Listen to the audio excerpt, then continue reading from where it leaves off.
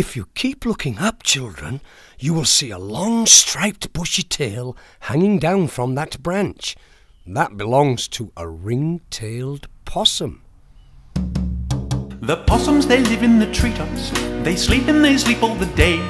They wait for night to come, and then they go off to play.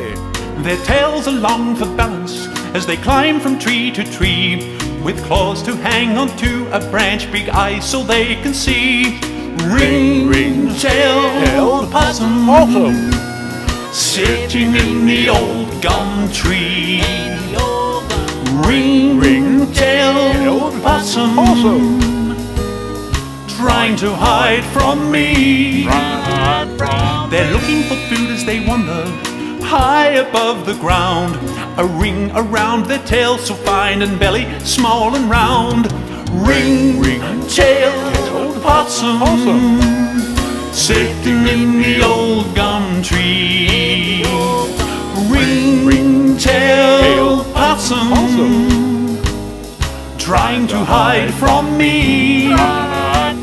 Their tails are long for balance as they climb from tree to tree. With claws to hang onto a branch, big eyes so they can see. Ring, sitting in the old gum tree. Ring, ring, tailed possum, trying to hide from me. He's a very shy creature, and generally you will only see him at night time.